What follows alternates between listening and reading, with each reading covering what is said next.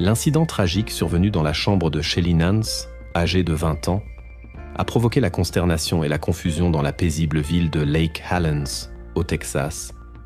Les habitants ne pouvaient trop pas croire ce qui s'était passé et essayaient de comprendre la situation. Les autorités ont lancé une enquête, examinant soigneusement le cercle de connaissances de la jeune femme à la recherche de réponses. Les enquêteurs et tous ceux impliqués dans l'affaire ont émis diverses hypothèses et suspicions.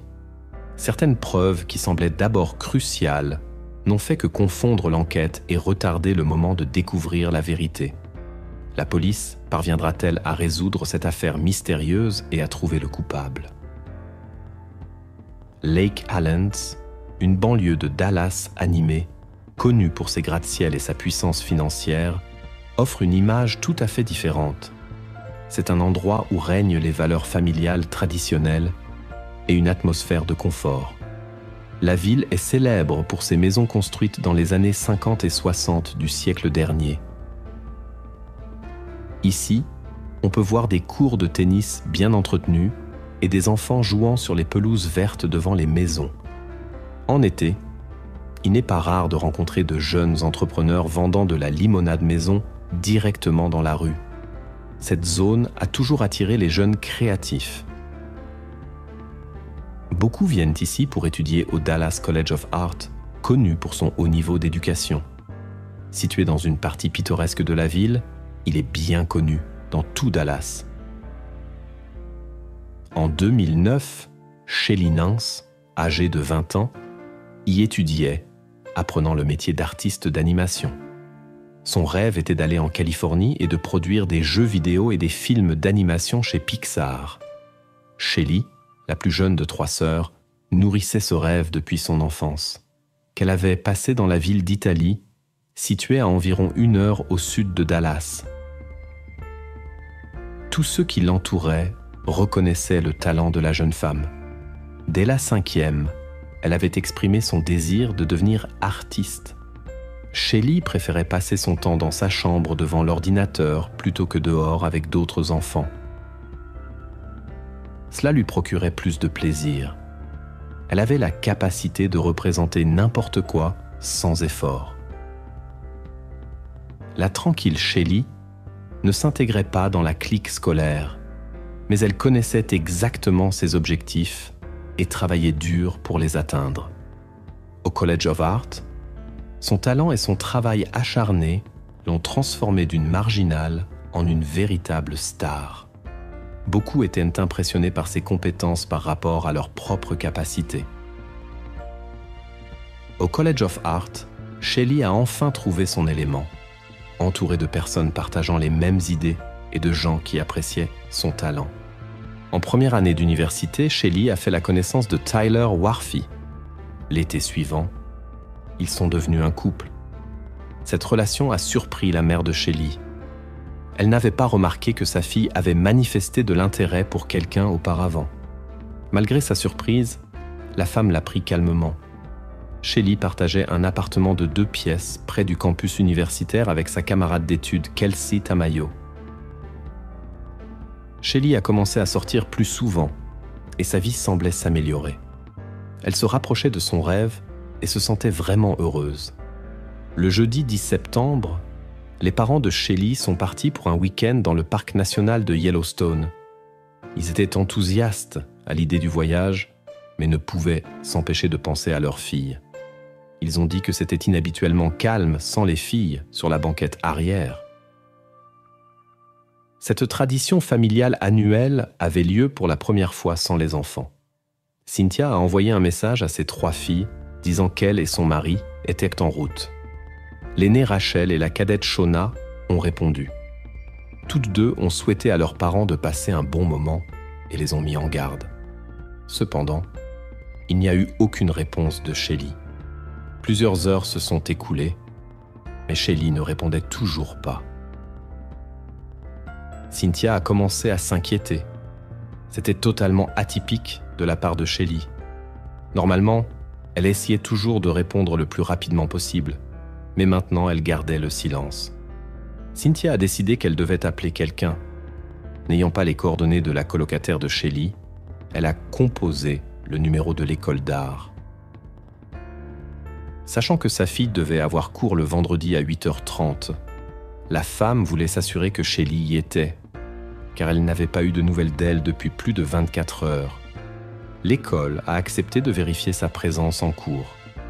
Bientôt, il s'est avéré que Shelley n'était pas là. Il s'est avéré qu'elle n'était pas apparue en cours alors qu'elle était censée être présente. Les enseignants ont alors contacté sa colocataire, qui était dans un autre cours. Kelsey a été immédiatement informée que Shelley était introuvable. Pour rassurer la famille Nance, Kelsey a été renvoyée chez elle après les cours pour vérifier si Shelley allait bien et lui demander de contacter sa famille. Lorsque Kelsey est entrée dans la chambre de sa colocataire à 15 heures, elle s'est trouvée face à une situation inattendue et inquiétante. L'enquêteur Paul Elzy, un gardien de la loi locale avec 30 ans d'expérience, est arrivé sur la scène du crime. Le vétéran qui a grandi dans cette ville n'avait reçu du répartiteur que de brèves informations sur une intervention dans un appartement où une jeune femme avait été trouvée. Il devait apprendre les détails sur place. Ce qu'il a vu a ébranlé même l'officier expérimenté. Shelley était allongé face contre terre sur le lit. Tout autour indiquait une tragédie. Cela ne parlait pas seulement du type d'incident, mais donnait également un aperçu de la personnalité de l'auteur. Une telle procédure est souvent choisie par ceux qui connaissent la victime et agissent passant pour des motifs personnels. Aucun signe d'entrée forcée n'a été trouvé. Les fenêtres et les portes sont restées intactes. Les enquêteurs ont commencé à chercher des preuves.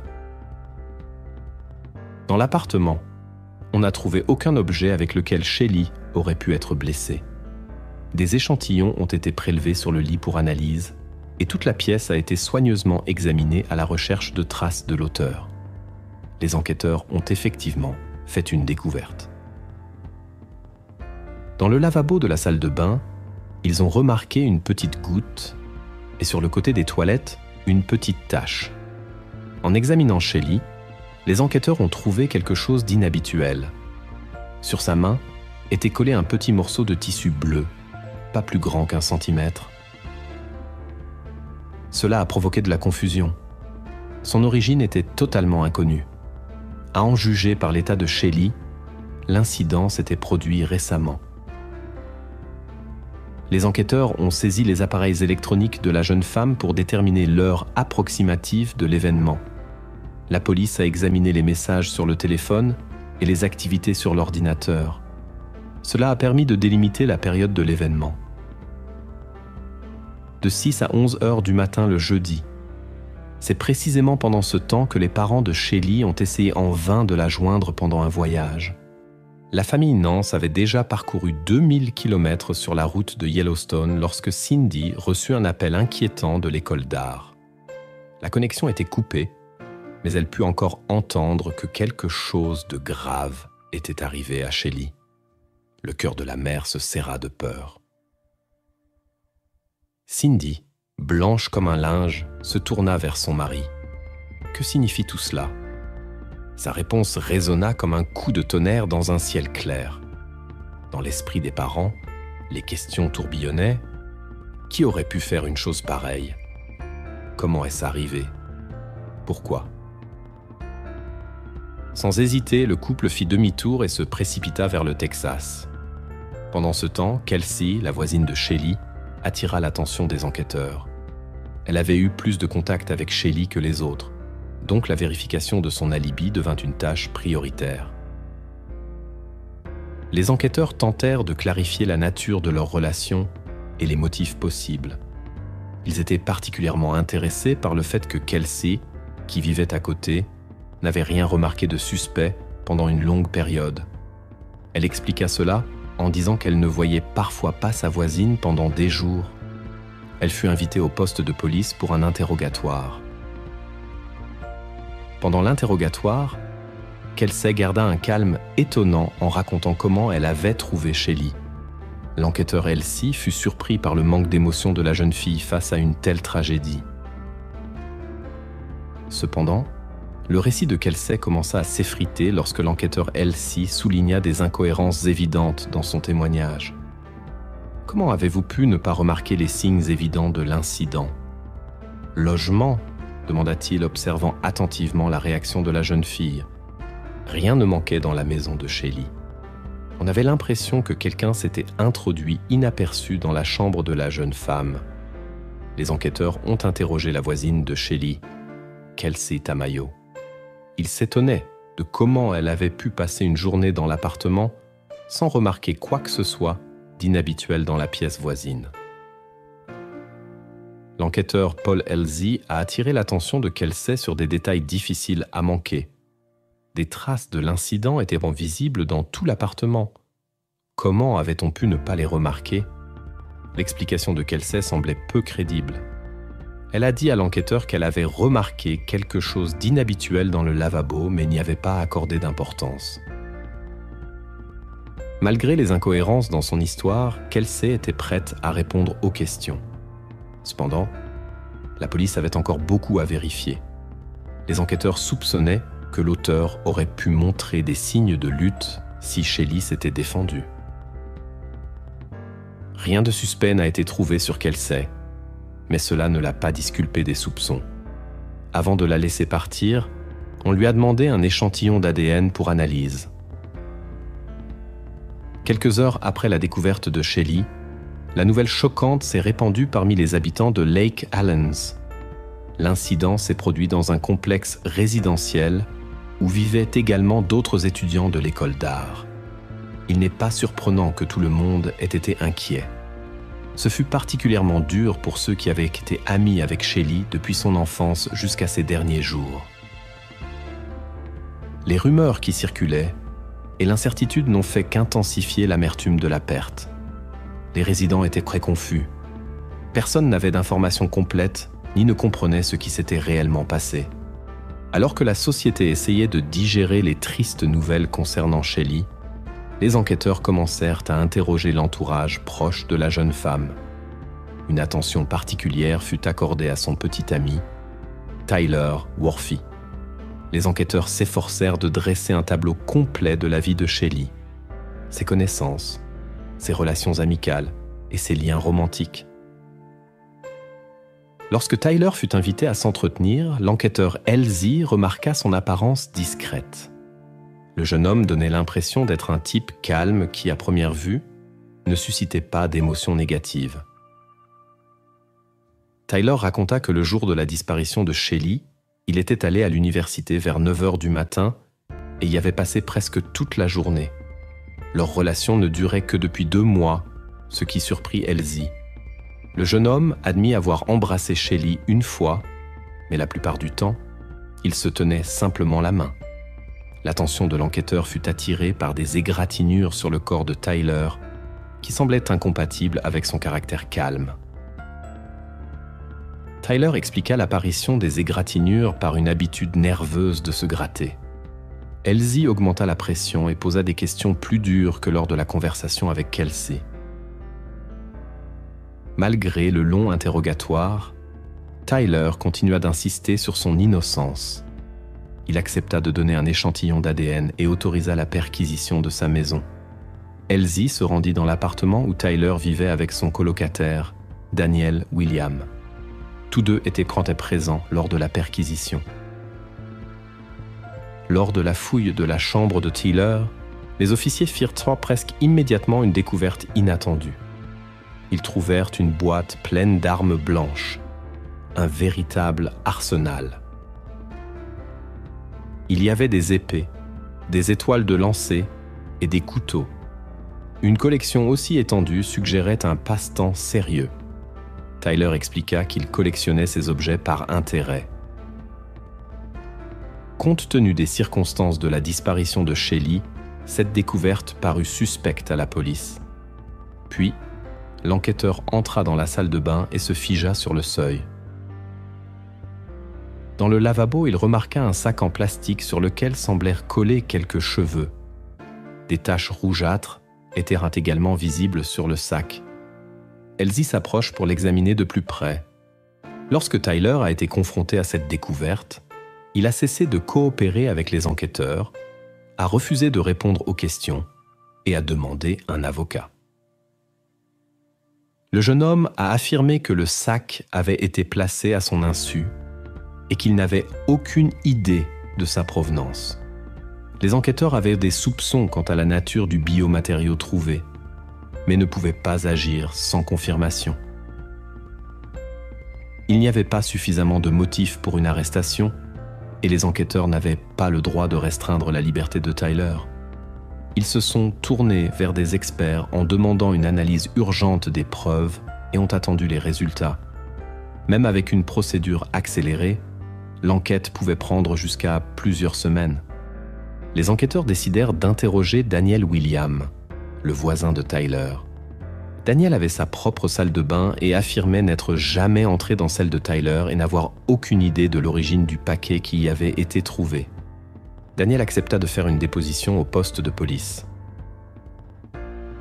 Les autorités espéraient obtenir de lui de nouvelles informations sur Tyler.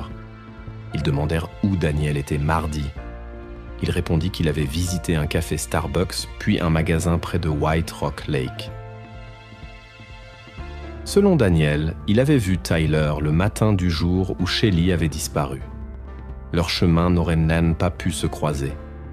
Cependant, il avait récupéré son voisin à 10 heures du soir et l'avait ramené du collège à la maison. Après la conversation, Daniel fournit un échantillon d'ADN et fut relâché. Sans les résultats de l'analyse de tous les échantillons collectés, l'enquête ne pouvait pas avancer. Une semaine après l'événement tragique, les proches firent leurs adieux à Shelley. Beaucoup de gens se rassemblèrent pour la cérémonie, mais une personne manquait. Les parents de Shelley avaient de demander à son petit ami Tyler de ne pas venir. Le lendemain, lors d'une cérémonie commémorative au collège d'art, les Nance rencontrèrent Tyler pour la première fois depuis l'incident. Il s'approcha d'eux, mais les parents ne purent pas lui serrer la main, car ils le soupçonnaient d'être impliqué dans l'incident. Bientôt, les enquêteurs reçurent les résultats de l'analyse des traces biologiques de la salle de bain de Tyler. L'examen révéla qu'elles appartenaient à Shelly Nance. Cela devint la preuve décisive contre Tyler et il devint le principal suspect. L'enquête semblait aller dans la bonne direction. Les résultats de l'analyse disculpèrent également la voisine de Shelley, Kelsey Tamayo. Les enquêteurs établirent la période pendant laquelle le malheur s'était produit. Kelsey avait un alibi pour ce moment? Elle était au collège et ne pouvait pas avoir été à la maison. Les experts ont examiné le matériau bleu trouvé dans l'appartement de Shelley. Le fragment sur la main de la jeune femme s'est avéré être une partie d'un gant médical.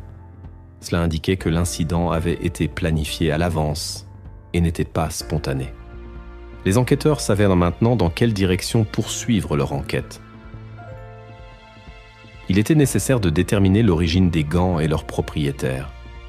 Tous les échantillons d'ADN de l'appartement appartenaient à Shelley elle-même, la police n'avait aucune base pour arrêter Tyler car il n'y avait aucune preuve de sa présence sur la scène du crime. Les enquêteurs devaient procéder avec prudence et attention. Ils n'avaient qu'une seule chance, et une erreur aurait pu leur coûter non seulement l'affaire, mais aussi leur carrière. Tyler et Daniel ont nié savoir quoi que ce soit sur le paquet dans la salle de bain. Cependant, Lorsqu'on lui a demandé si des étrangers avaient accès à l'appartement, Daniel a répondu par l'affirmative. Ils avaient un troisième colocataire, Isaac Olsen, qui avait déménagé peu avant l'incident, mais avait encore une clé. Selon Daniel, Isaac montrait de l'intérêt pour Shelley. La police a décidé d'interroger ce jeune homme. Il a coopéré volontairement, a répondu à toutes les questions et à partager quelques informations. Les enquêteurs s'intéressaient à sa relation avec Shelley. Il s'est avéré qu'Isaac était effectivement attiré par la jeune femme. Cependant, quand elle a commencé à sortir avec Tyler, il s'est retiré par respect pour son ami. Isaac a fourni un alibi pour le jour de l'incident et a accepté une analyse ADN. Cependant, quelque chose dans son récit a attiré l'attention des enquêteurs Isaac a mentionné le comportement étrange de Daniel envers Tyler.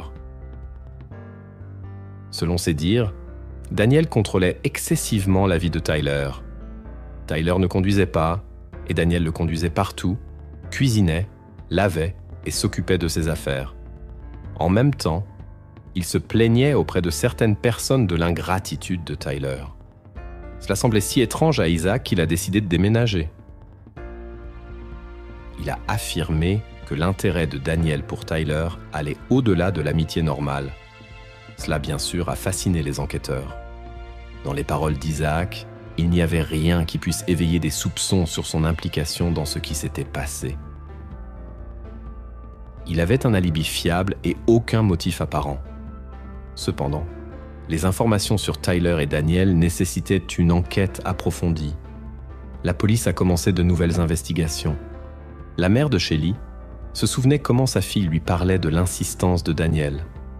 Il les suivait comme une ombre partout. Que ce soit une sortie au cinéma ou une soirée jeu à la maison, Daniel était toujours dans les parages. Shelly trouvait son comportement étrange et se sentait mal à l'aise en sa présence. Cette information a poussé les enquêteurs à examiner Daniel de plus près à nouveau. Des conjectures ont émergé sur les motifs possibles de ses actions. Nourrissait-il peut-être des sentiments négatifs parce que Tyler passait plus de temps avec Shelly?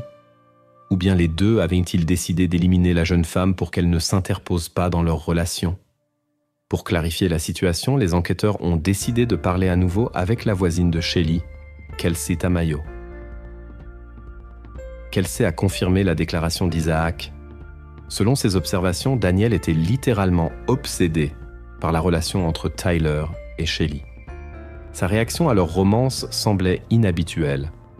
De plus, Kelsey a raconté que le jour de la disparition de Shelley, Daniel avait tenté avec insistance de la contacter. Il l'a inondé de messages et a insisté pour se rencontrer et parler. Puis soudainement, il a rompu le contact. Mais le plus intéressant était que Daniel avait récemment emprunté la voiture de Kelsey. Elle lui avait donné les clés de la voiture, et sur le trousseau se trouvait également la clé de son appartement. Cette information a donné aux enquêteurs l'idée de parler à nouveau avec Daniel. Au cours de la nouvelle conversation, il s'est avéré que Daniel avait servi dans la marine, mais avait rapidement quitté le service en raison de certains problèmes il s'occupait de Tyler, qui était considérablement plus jeune que lui. Cela a conduit à certaines réflexions. Si Daniel s'occupait de Tyler, il pouvait potentiellement couvrir ses actions. Une nouvelle pièce à conviction découverte par la police s'est avérée cruciale pour les deux voisins. À la fin de l'automne 2009, près de deux mois après la disparition de Shelly Nance, le coupable était toujours inconnu le cercle des suspects s'était réduit à deux personnes, le petit ami de Shelley, Tyler Worthy, et son voisin, Daniel William. La raison de ce qui s'était passé restait un mystère. Les enquêteurs décidèrent d'interroger Daniel à nouveau. Au cours de la conversation, la situation concernant sa relation avec Tyler s'éclaircit enfin. Daniel admit qu'il était contrarié par le développement de la romance entre Tyler et Shelley. Avec le début de cette relation, Tyler était moins souvent à la maison, ce qui affectait négativement son amitié avec Daniel. Les enquêteurs demandèrent au jeune homme de se souvenir une fois de plus où il se trouvait le jour de la disparition de Shelley. Le début de l'histoire correspondait aux déclarations précédentes, mais ensuite la version des événements changea. À l'origine, Daniel avait affirmé avoir visité un café Starbucks puis le magasin White Rock Lake. Cependant, cette fois-ci, il mentionna un autre fait qu'il avait précédemment caché. Il était passé chez une photographe en Corse qui devait le prendre en photo. Par une coïncidence étonnante, elle vivait dans le même complexe que Shelley. La rencontre avec la photographe n'eut pas lieu et Daniel ne la vit même pas. Aux yeux de la police, Daniel passa de simples connaissances de Tyler à principal suspect il s'avéra qu'il se trouvait dans le complexe résidentiel au moment de la disparition et, après avoir réalisé son erreur, avait tenté de le cacher. Les enquêteurs avaient pas besoin de preuves de la présence de Daniel sur les lieux du crime. Ils réussirent à obtenir des images des caméras de surveillance du supermarché. Sur la vidéo, on voyait Daniel errer dans le magasin à la recherche de quelque chose. Daniel avait effectivement acheté de la teinture pour cheveux. Un autre achat alerta les enquêteurs. Un paquet de gants médicaux. Cela pourrait devenir une pièce à conviction, car un fragment d'un gant similaire avait été trouvé sur les vêtements de Shelley. Un petit morceau de matériau causa de sérieux problèmes à Daniel. Ce morceau de tissu de moins d'un centimètre de long, trouvé sur les vêtements de la personne disparue, pourrait, selon les experts, appartenir à l'un des gants de Daniel. La preuve nécessaire avait été trouvée et le motif était devenu clair. Incroyablement, la raison de tout ce qui s'était passé était la jalousie. Daniel nourrissait de forts sentiments pour Tyler. Il ne pouvait pas supporter le fait que le voisin accorde trop d'attention à Shelley. Deux mois après le tragique incident, le 4 novembre, Daniel William a été placé en garde à vue. Lors du procès, il a plaidé non coupable, tandis que l'accusation présentait sa version des événements. Une semaine avant l'incident, Kelsey lui avait remis les clés de la voiture. Le trousseau contenait également la clé de son appartement. Daniel en a fait une copie. Le matin du 10 septembre, il s'est rendu dans un supermarché où il a acheté des gants. Tout ce temps, il entretenait une correspondance avec la voisine Shelley, s'enquérant de sa localisation et de ses projets de retour à la maison. Lorsqu'il a appris que Shelley était seule et qu'elle se réveillerait probablement plus tard que d'habitude, Daniel a vu une opportunité de mettre son plan à exécution. Il savait qu'elle était dans la chambre. À l'aide de la clé, il est entré dans la maison et a commis l'acte. C'était une expression d'une cruauté extrême. L'instrument du crime n'a jamais été retrouvé. Cependant, il s'est avéré que Daniel ne s'est pas arrêté là. Il avait l'intention de se venger de Tyler pour son attitude méprisante. Daniel a rassemblé des preuves dans un sac en plastique qu'il a emporté. Vraisemblablement, il a laissé le sac dans la salle de bain de Tyler pour diriger les soupçons vers lui. Cependant, il n'a pas remarqué qu'il avait laissé un fragment du gant sur la scène de crime. Deux ans plus tard, le 4 novembre 2011, Daniel William a été condamné à la prison à vie pour son crime. Toutes les accusations contre Tyler Warfy ont été abandonnées les autorités judiciaires et l'accusation étaient satisfaites que le coupable soit puni. Si Tyler avait été condamné à sa place, Daniel aurait pu échapper à sa responsabilité. Le verdict du tribunal a apporté un certain soulagement aux résidents de Lake Hallands, mais n'a pas pu restaurer complètement leur sentiment de sécurité. La conséquence la plus grave était que de tels incidents ont des effets durables le destin tragique de la jeune femme a semé la peur parmi sa famille et tous les habitants de la ville. Avec le temps, les proches de Nance se sont résignés à la perte. Ils ont appris avec soulagement l'arrestation du coupable. Maintenant, il ne peut plus nuire à d'autres personnes, mais cela ne pouvait pas ramener Shelley. Malgré la profonde douleur, Cynthia est déterminée à préserver la mémoire de Shelley à travers l'art. Elle avait des rêves d'avenir qu'elle n'a pas pu réaliser. Cynthia a décidé d'aider d'autres jeunes qui partagent les mêmes aspirations que sa fille. La famille de Shelly Nance a créé une bourse commémorative en son honneur pour les diplômés du secondaire qui postulent à une école d'art.